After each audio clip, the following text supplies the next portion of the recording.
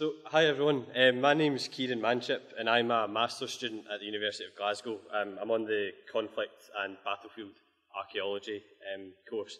So, today I'll give you a wee talk on some dissertation research that I've been getting on with, um, sort of opened up to me by the good people at HARP.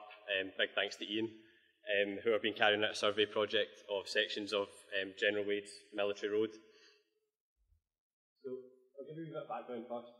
Um, Wade is an Anglo Irishman um, who's been a soldier since he was about 17. Um, he serves on the continent um, and then he comes back and around about the time of the 1715 rising, he's actually down south in England rounding up Jacobite sympathisers and seizing arms, um, sending folk to prison essentially. And becomes the MP for Bath. In 1724, he comes up to Scotland um, to carry out a report on the readiness and the ability of the government forces to combat another Jacobite rising. Um, among these, among his recommendations is the construction of roads. During the previous decade, there was two unsuccessful Jacobite risings in 1715 and 1719, both of which, in the event of both of them, the Jacobites were able to kind of evaporate into the hillsides using their intimate knowledge of the landscape and the shadowy hills and glens to completely evade capture. Um, so Wade sees roads and the strengthening of garrisons as a way to combat this. He also recommends the formation of Highland Watches, which go on to become the Black Watch. These are about seven watches or regiments of local Gaelic speaking Highlanders um, who act as kind of um, a police force essentially um, for the Highlands in the event of another Jacobite rising. He also revives a Cromwellian idea for the construction of a Highland galley to patrol Loch Ness and ferry troops around. So, to get back to roads, he is made the Commander in Chief of British forces in Northern Britain in 1725, and in that year and the following year, road construction starts. He is made a Field Marshal in 1740 and heads back to the continent um, to fight in European wars. Um, and his predecessor is um, a man called Caulfield, who becomes the new man essentially. And he's in there until 1776, after which road construction stops, but um, maintenance does. So here's a pretty crappy map of um, some of the of, of the road networks. The main ones we focus on are the Great Glen Road, which is the first one finishes uh, Fort William all up to the old Fort George in Inverness, with Fort Augustus there, and part of the things to do with park, the surveying, um, Dunkeld, Inverness military road, particularly Dunkeld to Dalnacardoch stretch, and part of the Dal- east of Cardiff stretch here. So here's some interesting maps. This is one of Wade's sketches. We don't have an exact date for it, but it's between 1725 and 1728.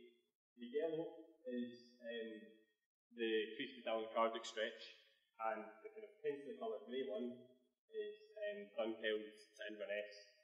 And you get the this is the first time Wade puts pen, pencil to paper and plans out how he's going to manage the landscape, how he's going to enforce the will of the British government onto this um, fairly lawless landscape. Um, and here on the right, you can see that it's pretty much the finished article with Roy's comprehensive um, survey here. That is the intersection there.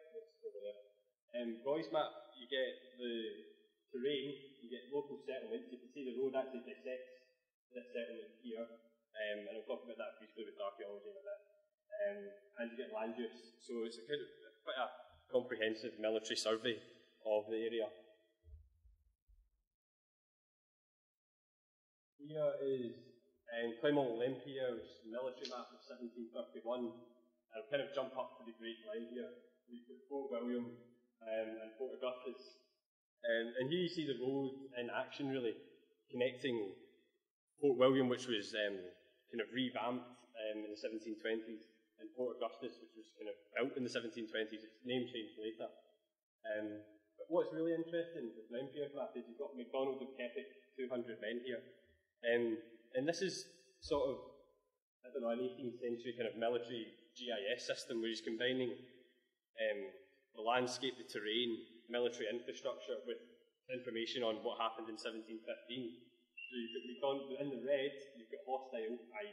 Jacobite leaning plans, and then on the, your right, um, on the left, you've got um, the plans loyal to the government.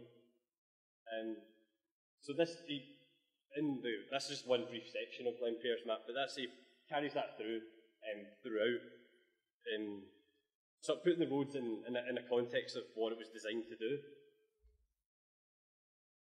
Um, here we go. This is the road in action in the 1745 Rising, and ironically, it was the Jacobite army under Bonnie Prince Charlie that made the best use of the roads. Um, landing in Glenfinnan, he was able to rally some plans and then shoot off down to Edinburgh, completely outmanoeuvring and outmarching um, the government forces.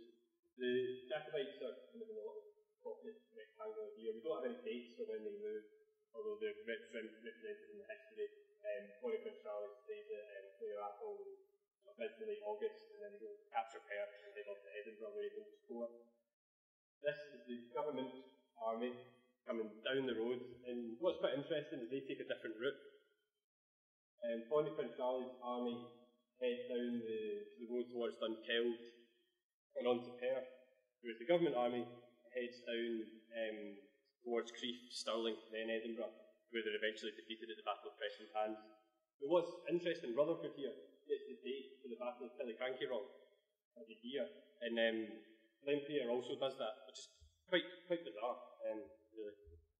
Maybe it's sort of what was going on in Ireland, I don't know. So, now for a wee bit of the archaeology. Now, this is just more of a brief introduction to the archaeology, really, but I want to kind of show you some some of the key points, really.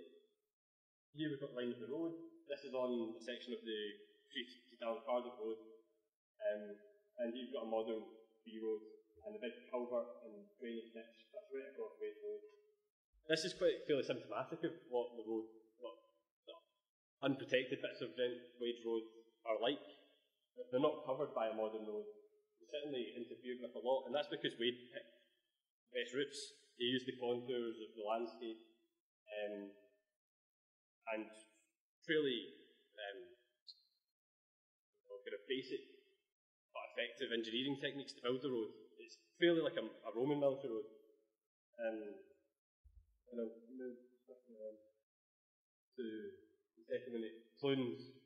And here you can see sort of palimpsest of the landscape where you've got the old military road, and as it kind of drifts in and out of use, the enclosure walls start springing up around it. The second looks like they've one too long ago, um, spring up and interact with this road.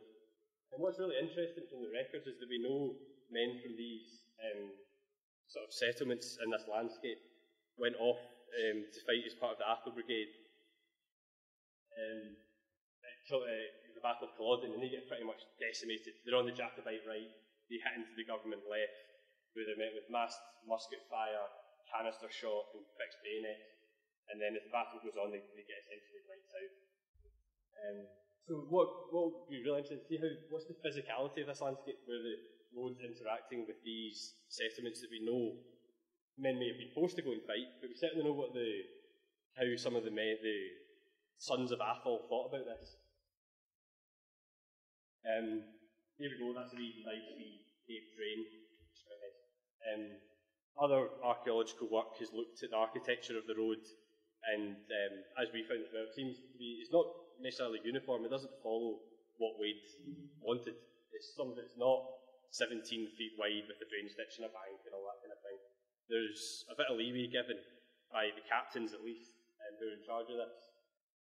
Um, and what's really good to look at through the survey is that you get you build up a picture of the experience of the soldier as you walk the road, where the where the drains, where are the quarries, how are they progressing through the landscape, making this drastic change to the road? I'll finish with a wee bit about tourism, and just to kind of bring this to the present. 18th century tourists such as Thomas Pennant, and there's Johnson and Boswell having a jolly time. Um, they're quite key in disseminating information about the Highlands. What was this landscape like after the road was built? Pennant talks about the area around Loch Tay becoming a kind of hive of industry in the last 30 years as the road was built.